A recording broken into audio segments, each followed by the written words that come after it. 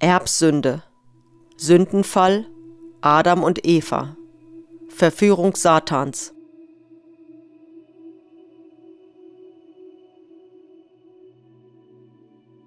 Es müssen in euch immer wieder Fragen auftauchen, die ihr beantwortet haben möchtet, dann kann ich euch erklären, so wie ihr euch mit mir in Verbindung setzet, so wie ihr nach innigem Gebet höret, was ich euch sage, indem ihr eure nun auftauchenden Gedanken als diese meine Antwort ansehet, wenn ihr nicht direkt angesprochen werdet von mir, durch die Stimme des Geistes. Euer Verlangen und der Anruf zu mir sichert euch auch rechtes Denken. Doch ohne mich werdet ihr nicht in der Wahrheit stehen. Ohne mich ist euer Streben nach Aufklärung vergeblich, weil euch ohne mich nur irriges Gedankengut erfüllt, das euch die Kräfte von unten vermitteln können, eben weil ihr mich ausschaltet, der ich der Geber der Wahrheit bin. Und so sei euch Folgendes gesagt. Es kann euch immer nur bildmäßig Aufklärung zugehen, solange ihr nicht vollkommen seid. Nimmermehr würdet ihr verstehen können die endlosen Tiefen göttlicher Weisheit. Nimmermehr würdet ihr die Beweggründe für mein Walten und Wirken verstehen, weil eure Unvollkommenheit auch mangelhafte Erkenntniskraft bedeutet und ihr also Kraft eures Verstandes keine Erklärung finden könntet, die euch aber blitzschnell zugehen kann, so wie euch im geistigen Reich mein Liebelicht durchflutet. Auf Erden müsset ihr bildhaft Aufklärung erhalten, es können euch nur eurem Fassungsvermögen entsprechend die Vorgänge geschildert werden, die sich in meiner Schöpfung abspielten. Und also können euch auch die geistigen Vorgänge in den Herzen der ersten Menschen nur durch irdische Vorgänge verständlich gemacht werden, die an sich jedoch nur ein schwacher Vergleich sind, eben weil ihr selbst noch schwachen Geistes seid. Ihr Menschen seid gebunden durch Naturgesetze, denn die völlige Freiheit, die ihr euch durch euren einstigen Abfall verscherzt hattet, müsstet ihr euch erst wiedererwerben durch euer Erdenleben.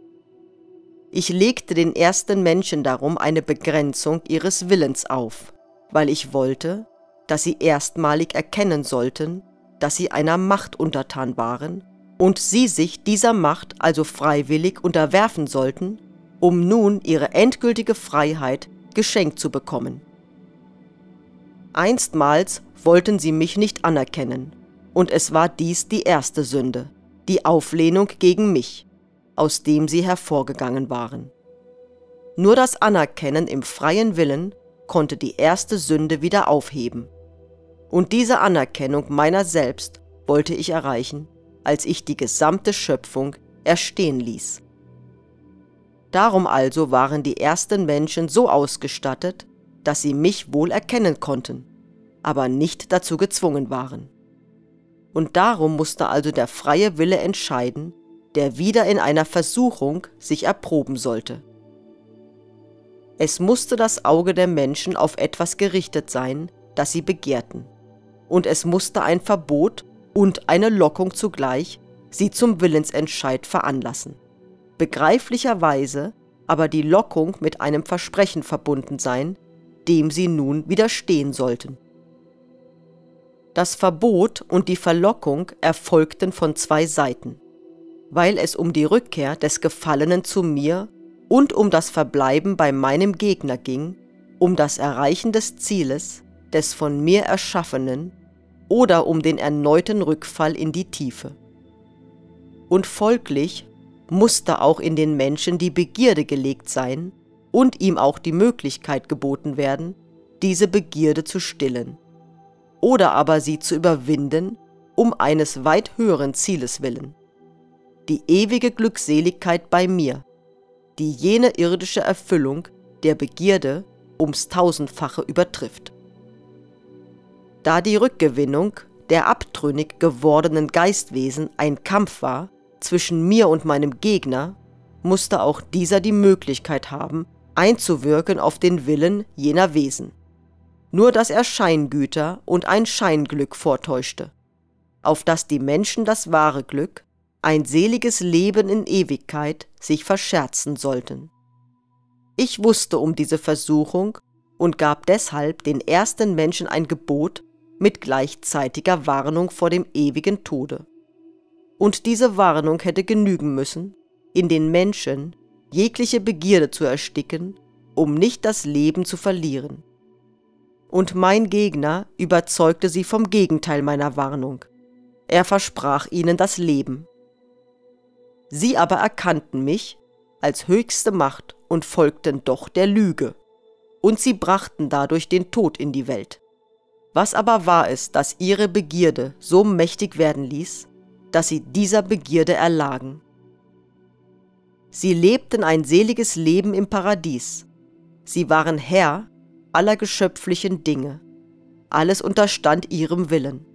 Und sie fühlten sich glücklich im Vollbesitz von Kraft und Macht. Innige Liebe verband auch die erstgeschaffenen Menschen. Und Kraft dieser Liebe, schon hätten sie sich selbst erlösen können aus der Fessel meines Gegners.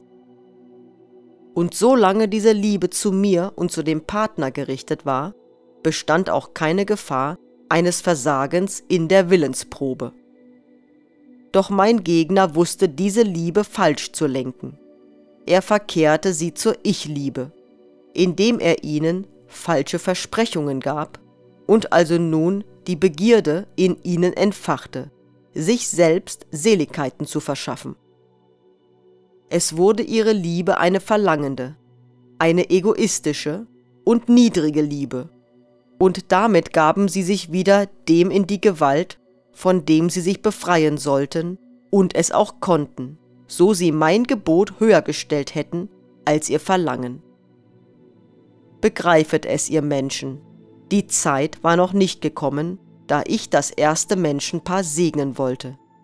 Darum wurde es sündig, denn nichts ist sündig, was sich meinem Schöpfungsplan anpasst. Nichts kann Sünde sein, was in gesetzlicher Ordnung geschieht. Und niemals kann der Vorgang der Zeugung wieder die gottgewollte Ordnung sein. Doch die Befriedigung der Sinne, ohne den Willen Leben zu gebären, ist kein Akt der Liebe, die göttlich ist, sondern eine von meinem Gegner entfachte Selbstliebe, die den Menschen herabzieht und gänzlich in seine Gewalt treibt. Dieser falschen Liebe waren die ersten Menschen zum Opfer gefallen. Und diese falsche Liebe war die Sünde, die wieder gemahnte an die Ursünde der Selbstüberhebung, die nicht sich verschenken wollte, sondern alles besitzen und die Erbgut war ihres Erzeugers, die aber mit der göttlichen Liebe nichts gemeinsam hat.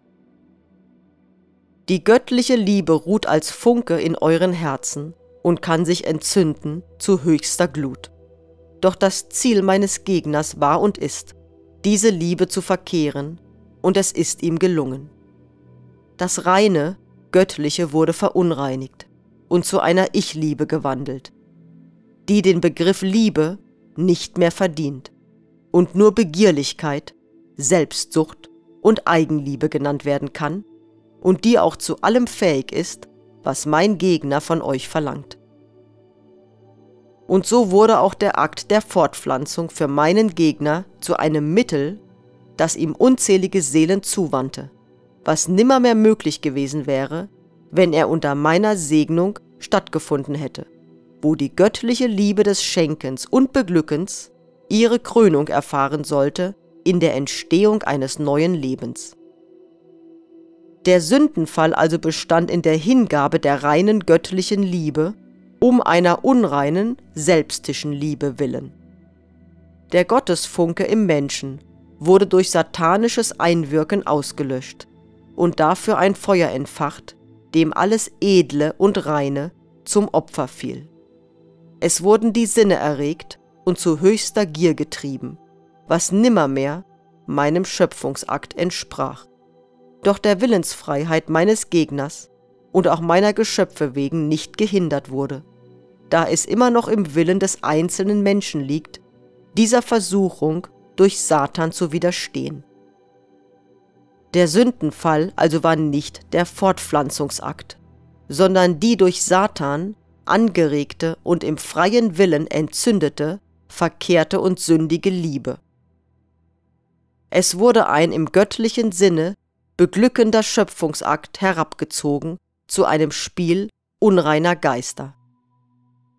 Es wurde meinem Gegner Zutritt gewährt zu einem Akt, wo ich selbst mit meinem Segen bei den Menschen sein wollte, um die reine göttliche Liebe in ihnen zu verstärken, dass diese auch in die nun gezeugten Wesen überfließen sollte und so also ein Menschengeschlecht entstanden wäre, das in stets hellerem Liebelicht den Weg zu mir zurückgefunden hätte, ohne Leid und Qual, das in kurzer Zeit sich erlöst hätte durch die Liebe, weil es mich selbst erkennen musste, wo die Liebe erstrahlte.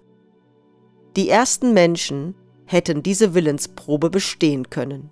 Doch da ich mit meinem Gegner rang um die Seelen der Menschen, konnte ich ihn nicht hindern, Mittel anzuwenden, um sich den Sieg zu sichern. Denn es ging um die Rückkehr meiner Geschöpfe in völlig freiem Willen, der jedoch versagte und dem ganzen Menschengeschlecht ein Los eintrug, von dem es selbst nicht mehr frei wurde, bis ein Mensch in reiner göttlicher Liebe das Werk vollbrachte, das die gesamte Menschheit entsöhnte und ihr wieder den Weg frei machte nach oben. Denn die Liebe trägt den Sieg davon, und die Liebe wird nicht eher ruhen, bis auch das letzte mir abtrünnig gewordene den Weg zurückgefunden hat zu mir. Amen.